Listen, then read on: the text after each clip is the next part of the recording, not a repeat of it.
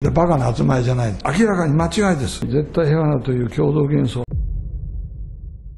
大まかなですね、国家の基本に関する大事な問題についてお尋ねしたいと思います。現憲法についての総理の相対的あるいは具体的な所感をぜひお聞きしたいと思います。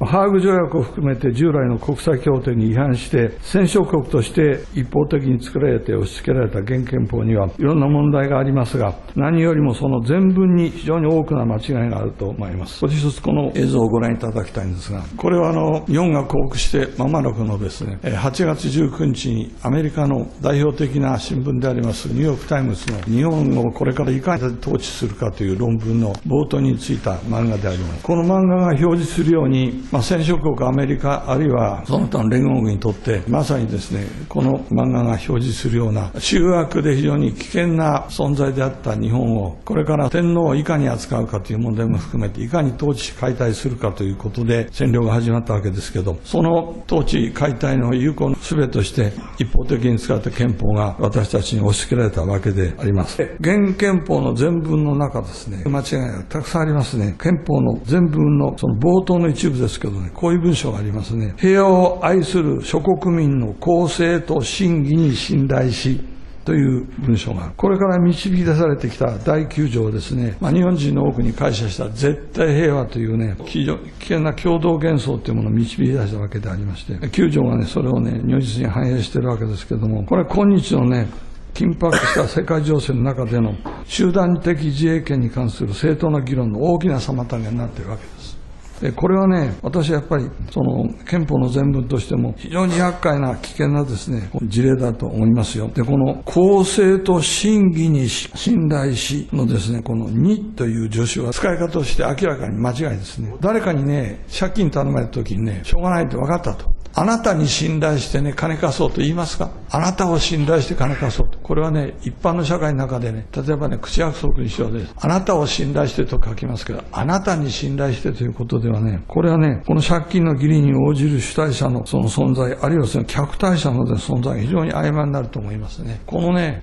平和を愛好する諸国民の公正と真偽に信頼している、このおかしな日本語ってのは本当に、まあ、危険なんで非常にそのね、日本薬科ね、問題をもたらしている救助につながるわけですけども、これはですね、あくまでもですね、公正と平和を愛好する諸国民の公正と真偽をですね、信頼してなるべきだと私は思います。で、その他の全部の中でも女子の間違いいっぱいあるんですね。つまり我々の日常の会話の中で寛容されていないような女子の言葉遣いは、これ外国人の作った憲法の全部の中にたくさんありますね。例えば、全世界の国民が等しく恐怖と欠乏から免れ云々のカラーというのは、これとってもおかしい助詞だと思います。全世界の国民が等しく恐怖と欠乏から免れじゃなくて、欠乏を免れっていうのはこれ正しい日本語です。これはね、やっぱり本当に文章の印象というのを混乱させるですね、間違った助詞の仕様だと思います。かつてですね、シェイクスピアの翻訳を全部したあの翻訳家でもあった、英文学者であった、かつてのその日本の代表的な論客であった福田光村、福田恒成さんが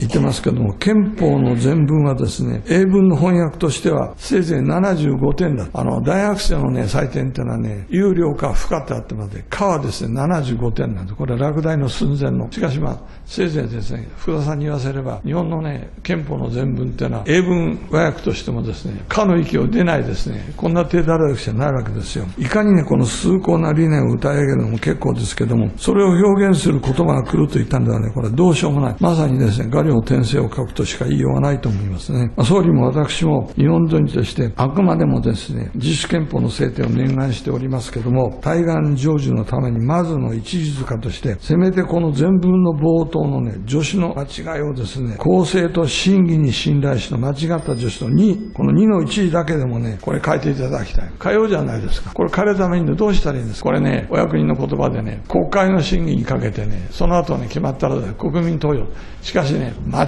った言葉の助詞一時を変えるためにね、国会を審議する必要なんです。国会審議ってバカな集まりじゃない。それをね、国民投票にかけるっていうのも、これはね、まさにね、お金と時間の無駄だと思いますよ。これはですね、総理が決断されてね、国語の専門家たちを集めてですね、審議をさせて、この2の1時だけは変えようじゃありません。これはね、そのためのね、手続きっていろいろまあ議論があるかもしれませんけど、この2を変えること、2の1時を変えることがありの一決となってですね、敗戦後70 19年にしてようやく私たちはね、自主憲法の制定につながる日本人のですね、とにかく主体性というのを回復することができるんじゃないかと。思います。そう信じてやみません。ですからね、どうか総理ね、この2という助手の一時を変えるだけであなたはね、まさに後世に目を残すね、総理になれるはずだと私は思いますよ。この2はですね、明らかに間違いです。日本語として。誰かにね、大金を頼まれて貸すときにですね、その相手にね、お金を貸すときに、君を信頼してと言いますよ。君に信頼してとは言いませんよ。これではですね、大金を貸し出す主体者の立場の位置が曖昧になってしまいます世間でも、ね、契約にこんな文書は通用しないはずです。ですからね、古い文化と伝統を誇るこの日本の憲法の全文に、これほど多くの助手の誤りがあります。故にも、言語として寛容性に欠けて日常に通用しない代物でしかない。これはまさにですね、この間違った全文で始まる憲法をいただいているとは、国辱ですよ、これは。文化の破壊であると私も言えると思います。問題の多い絶対平和なという共同元素を育んだ救助をいきなり変えると申しませんが、せめてこのね、2の一時だけでも自らの手で直すことをですね、一つ、総理決心していただきたい。これあなたのね、非常に大きな仕事になると思いますけどね、2の一時だけ変えましょう。これ変えることで憲法の印象って変わってくるんですが、ぜひそれをお願いします。まあ、文学者である石原慎太郎先生らしいご指摘だと